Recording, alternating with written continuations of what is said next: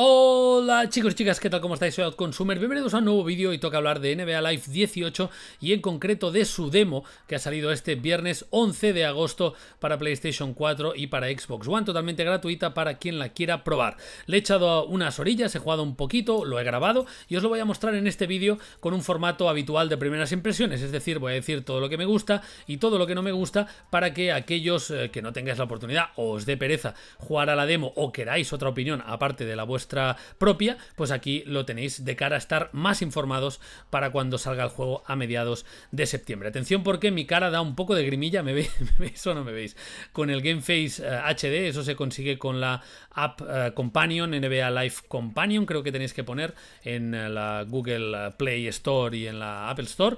Y en la Apple Store, sí, bueno, ahí, ahí lo podéis encontrar, lo descargáis y podéis escanear vuestra cara. El resultado no está mal, no está mal. Bien, ¿qué me ha parecido el juego? Bueno, primero vamos a hacer un poquito de contexto. Y es que el año pasado no salió juego, NBA Live 17 no existió, y el antecesor más directo de NBA Live 18 es NBA Live 16, que era un juego muy flojito. Lo subí al canal cuando salió la demo y no sé si llegué a subir algo, a publicar algo del, juego propiamente, pero bueno, el juego era, era, flojete para lo, que, para lo que era, ¿no? Luego NBA Live 17 sí salió en móvil y está bastante bien, gente muy enganchada, sobre todo potenciando el Ultimate Team, y ahora sale en versión consolas, en versión AAA, para intentar, quizá no disputar, pero bueno, competir o intentar competir o perseguir a la saga NBA 2K, que ahora mismo es la que domina en el apartado de simuladores de baloncesto. Bueno, ¿qué me ha parecido el juego? El juego es mucho mejor que NBA Live 16. La verdad es que se nota ese cambio y aún está muy por detrás de NBA 2K, como es lógico y luego lo intentaré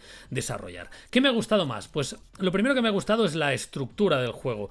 Eh, no tanto los menús, que también, sino cómo está estructurado sobre todo su parte de carrera, que se llama The One.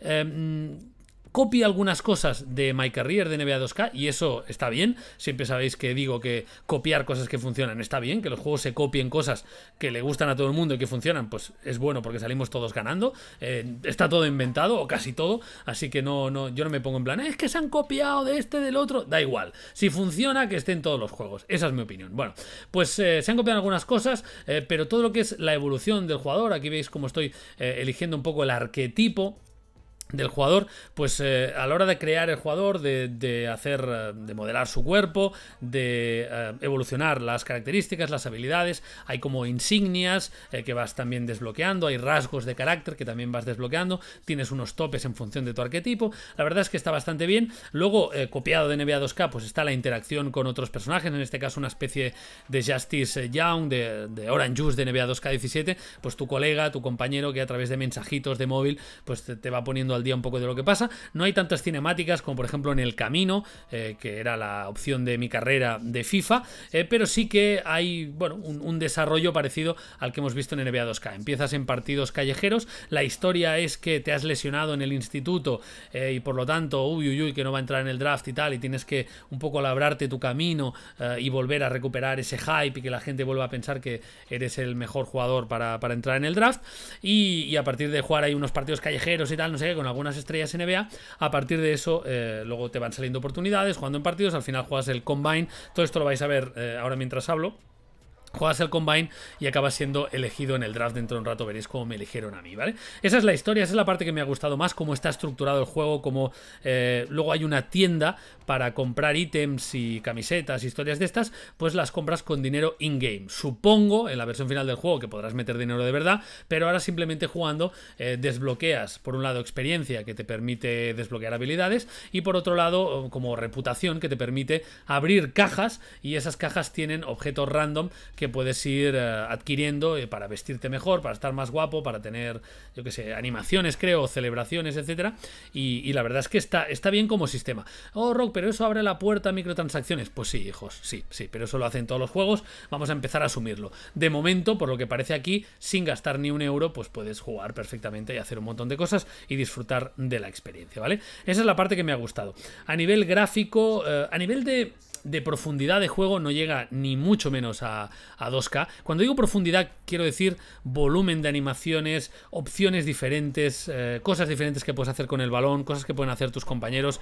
Eh, no tanto de controles, que también, pero sino cosas diferentes que pueden pasar en cada ataque, ¿no? Yo creo que no es tan profundo como 2K, eh, que es lo lógico, porque NBA 2K lleva ininterrumpidamente, yo qué sé, 10 años haciendo juegos de básquet y cada año, por mucho que hay mucha gente que dice, es que no mejoran, cada año añaden cosas, cada año añaden eh, animaciones y siempre lo dice Rafa, Rafael TGR, mi compi, ya lo sabéis, dice, cada vez me cuesta más em, conocer todas las animaciones del juego en NBA 2K, ¿no? Porque cada vez hay más. Entonces, en ese sentido, este juego está bien, tiene cierta profundidad, no es un arcade tipo Virtua Tennis para entendernos de mate, pase y ya está, o NBA Playgrounds, sino que tiene más movimientos, sobre todo de dribbling, etcétera, tiene, tiene más opciones, pero se sigue quedando muy corto si lo comparamos con NBA 2K. Yo no creo que sea un juego puramente arcade o arcade, como decíamos NBA Playground, pero sí que es un juego eh, más orientado, más simple diríamos así, ¿no? Más simple. Y por lo tanto, si le pretendemos echar las mismas horas que le queríamos echar o que le echamos a NBA 2K, probablemente se nos quede corto, ¿no? Em, el gameplay funciona, está fluido, em, se puede jugar de forma más o menos estratégica, puedes dividir, eh, doblar el balón, los jugadores están solos, la defensa tiene más o menos sentido, se puede jugar y no parece un juego aleatorio como NBA Live 16, pero aún así eh, las costuras, como decía justamente ayer en el vídeo de Hellblade, las costuras se ven muy rápido, de repente eh, mm, los jugadores toman decisiones absurdas, como yo que sé, van por la derecha y acaban la entrada por la izquierda porque la animación que salta es una que no tiene ningún sentido, el juego en el poste lo dominas poco, por lo menos a mí me ha costado dominar exactamente lo que iba a hacer en cada momento. Entran muchas canastas como muy locas, en plan, esto tendría que ser falta o fallar, no meterla, eh, etcétera, ¿no? Entonces, el sistema de medición de, tiros está bien. El sistema de defensa me ha parecido que está bien, mucho mejor, y que tienes la sensación de que estás defendiendo, y que cuando te equivocas, cuando intentas robar, que por cierto es bastante difícil, em, se te escapan, el, tapón depende mucho del timing, en fin, se siente bien. Eh, sobre todo es un juego divertido. Yo, yo me lo he pasado bien jugando, no ha sido un suplicio en plan, joder, macho, tío, no quiero jugar más, ¿no? Pero eh, pero eso, se, queda un poco cortito. Luego gráficamente estáis viendo los jugadores, la construcción del cuerpo de los jugadores es un poco rara, la transición entre animaciones es un poco rara, pero eso es porque estamos también acostumbrados, sobre todo los, los fans de, NBA 2K o los fans del básquet en general, a ver 2K eh, justamente que es un, juego mucho más pulido, ¿no? que en ese aspecto eh, es, está mucho más... pues eso, pulido, definido, etcétera, trabajado y por lo tanto aún le faltará mucho tiempo para llegar a ese ritmo si siguen sacando un juego anual, ¿vale? Entonces, esa parte es la que me ha gustado. El juego se, puede jugar, es divertido, eh, hay repeticiones, hay modo cine, que está muy bien, eso está muy bien. Eh, cuando acabas el partido puedes ir a, todo el listado de jugadas y ver todas las repeticiones de todo lo que has hecho. Los jugadores tienen expresiones que cambian en función de lo que está pasando. Hay celebraciones después de una gran canasta. Es decir, hay, hay muchas cosillas que están muy bien. Hay muchas cosillas que dan, eh, pues eso, una ambientación mejor, una inversión más grande y que están bien. El juego se disfruta. Como digo, le habré echado, yo qué sé, dos horas, dos horas y media.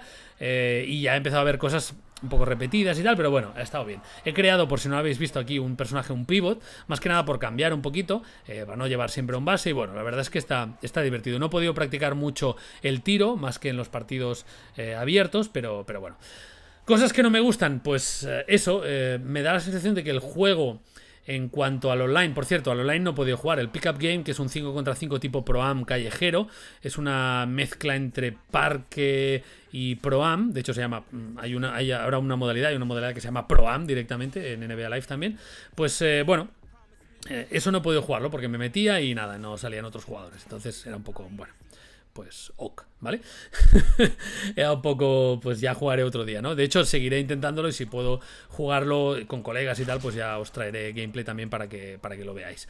Pero lo que es el partido normalito, pues el, partido normal, Warriors contra Cavaliers, la reedición de la final del año pasado, pues eso, da, da deja un poquito que desear si estás acostumbrado a lo otro, pero creo que para, y creo que esa es la principal virtud de este juego, para nuevos jugadores o para gente que esté desconectada de la saga o para gente que no haya jugado mucho a simuladores de, videojuego y que quiera eh, de, baloncesto, evidentemente, y que quiera entrar, pues creo que va a ser una buena puerta de entrada. Y el juego creo que te va a dar muchas horas, sobre todo en el Ultimate Team. Aquí no hay nada, en, el, eh, en esta demo no hay nada de Ultimate Team, pero viendo lo que hicieron, eh, lo que hacen con FIFA, lo que hacen con Madden, sobre todo, y lo que han hecho con NBA Live Mobile, pues me parece, vamos, una apuesta segura que van a tirar por el Ultimate Team y que va a estar muy bien, muy bien estructurado, con muchos desafíos. De hecho, en esta demo hay desafíos live que no sé exactamente cómo van a acabar de funcionar, pero seguro que habrá mucho contenido muy a menudo y eso, y eso siempre está bien. Eh, entonces yo creo que eso hay que aplaudirlo.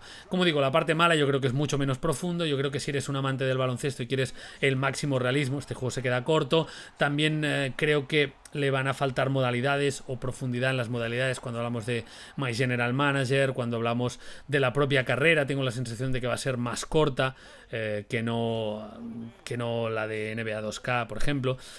Todos son sensaciones, porque aún no lo hemos visto, ¿no? Pero bueno, como digo, hay, hay, hay, cositas que han copiado, las han copiado muy bien. Todo lo que es presentación, vídeos introductorios, al final estoy diciendo muchas cosas que me gustan.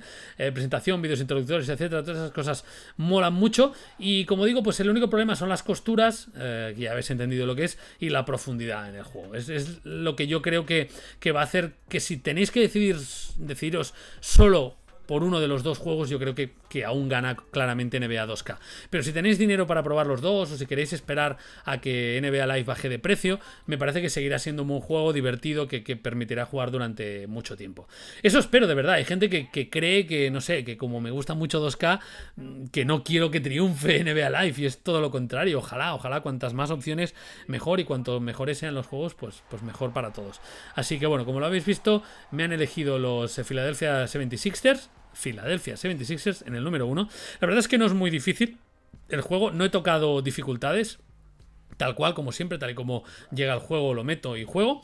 Eh, bueno, en este caso me lo descargo y juego pero me ha resultado bastante fácil a la que le pillas dos trucos. Eh, con un jugador de 74 de media he dominado, he metido todos los puntos, me he elegido número uno y bueno, es relativamente fácil, ¿no? Entonces, bueno, eh, ah, y por cierto, es verdad, para los que no sepáis, el juego va a incluir WNBA, va a incluir jugadoras por primera vez en un juego de NBA Live o en un juego de NBA, porque sí que había un NBA Street que, eh, que también tenía jugadoras, pero por primera vez WNBA va a estar representada, lo cual es muy guay, no está en la demo, pero está en el juego final y eso la verdad es que lo celebramos, o por lo menos yo lo celebro. En fin, espero que el vídeo os haya servido. Si tenéis una de estas dos consolas, probad la demo que es gratuita y así opináis por vuestro propio criterio. Y si no, pues tenéis este vídeo. Y sobre todo, como siempre os digo, informaros en otros, en canales de otros youtubers, trailers oficiales, eh, análisis de revistas, etcétera, antes de comprar los juegos. Es un consejo, es un briconsejo de Outconsumer. Hasta la próxima, chicos. Adiós.